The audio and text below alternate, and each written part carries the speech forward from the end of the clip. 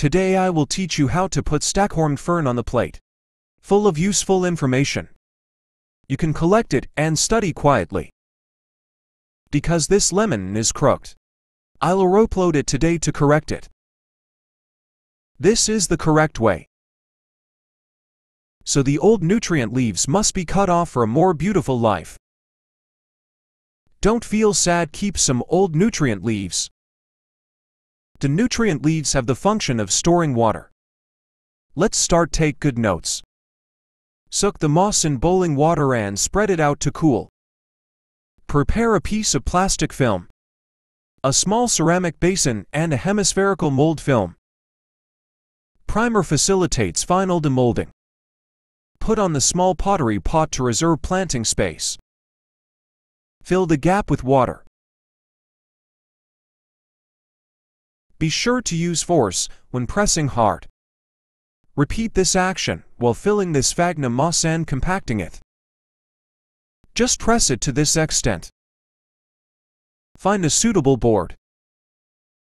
Screws on both sides for easy fixing. Remember to leave some space for tying the wires.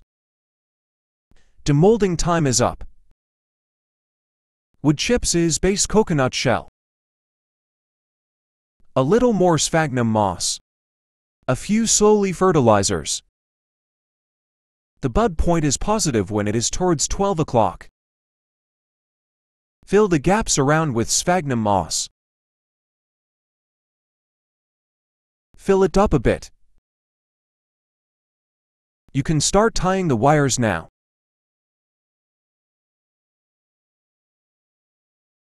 From bottom to top layer by layer. Don't tie it too tight use less force. Press down the old nutrient leaves and fix them. It is more secure if you pass it from under the old leaves.